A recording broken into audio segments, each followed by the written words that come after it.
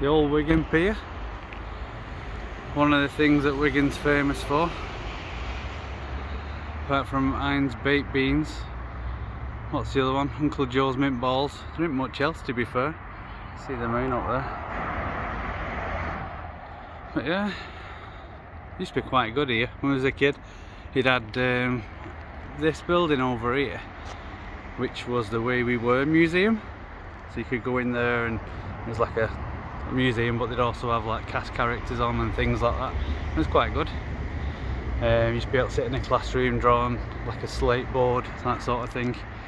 It's quite cool it's a shame it's shut down. Looks like they're doing a bit of work on it now. There was a, aiming to do some regeneration before the uh, the big recession or whatever it was that hit in um, was it 2008 the kittiwake under there you can go for canal tours and things like that but yeah it's it's not fallen into disrepair. It's still in decent nick and they're doing work on it now. They're trying to kind of breathe the town centre laugh into it and extend it down here really. Doing a lot of roadworks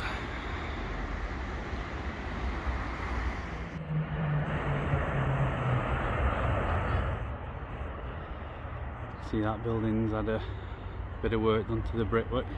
All that looks relatively new a veranda or whatever you want to call it and the sun's just popped in to make it nice and dark unfortunately.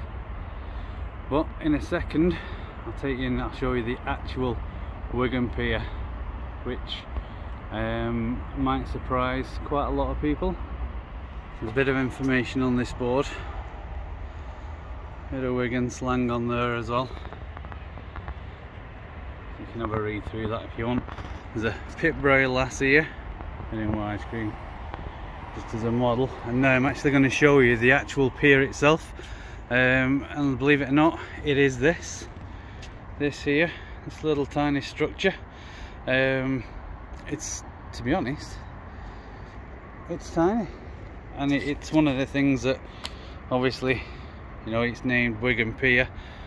Made famous by George Orwell's novel um, The Road to Wigan Pier we go through the how difficult life was in Wigan with the collieries and at the back over there you can see the Trenchfield Mill.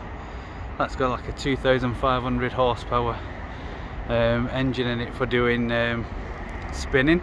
I'm not sure if you can still go in that. I think there are some areas but it's been made into flats and things like that. Um, it's a shame really. It was a good museum piece.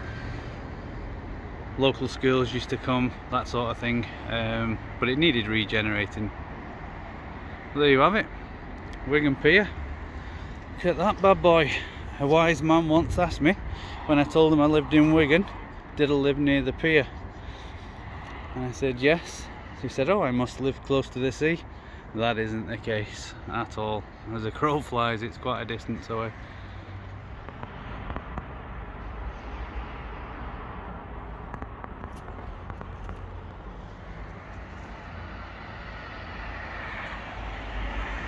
Lost his head, young one.